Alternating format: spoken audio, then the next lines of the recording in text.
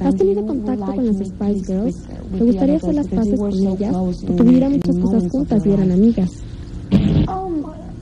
Bueno, mira, yo solo tengo buenos sentimientos hacia ellas. Estoy muy orgullosa de mis orígenes y me la pasé muy bien con ellas cuando estaban las Spice Girls. Pero es como cuando estuviste casada y te divorcias. No puedes estancarte, tienes que seguir moviéndote y pensar en el futuro.